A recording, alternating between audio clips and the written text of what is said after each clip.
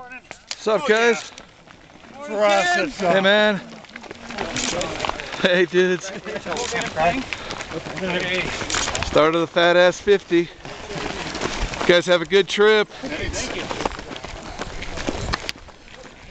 Through the foothills of Colorado. Here comes Amanda, famous significant other. Hey.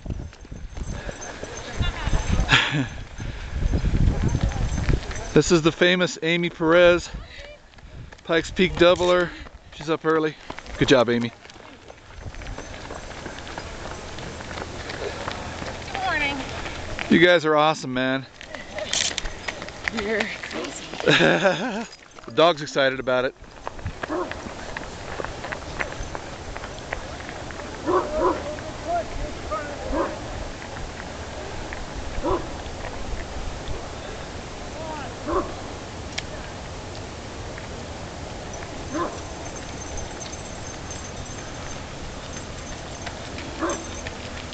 Nice work, nice work.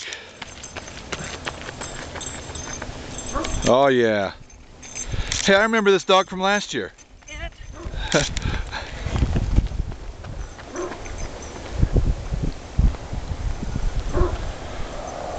So this is the Fat Ass Series. I misspoke earlier. And this actual name of the race is the Ponderous Posterior. Um, and the course was designed by Anton Krupicka of Boulder. Used to live here. He was a CC student, ultra runner. Way to go, guys. Good morning. Have a good one. And this is a completely kind of an underground deal. No entry fees, no prizes, no whining. A lot of people just out here to have a good time. Hey Gary, how's it going? Pretty good. Awesome. Good morning, that's okay. Good morning. What do you say, fellas? Morning. I was hoping to be last, but Yeah, Nancy got out of doing this because she went to Monaco. Yeah, I saw that. That's uh, that's nice, huh? hey, hey, how's it going? Hey man, you got that right. It's a great morning right there. It is. Love it.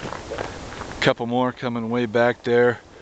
This uh, this event starts at uh, ultra runner John Teicher's house in Colorado Springs and ends there and uh, they got a foothills trail here that's going to include the Manitou Incline this year um, that should be ascending the incline should be pretty interesting and we're going to call it good right there from the start of the ponderous posterior on January 14th in Colorado Springs.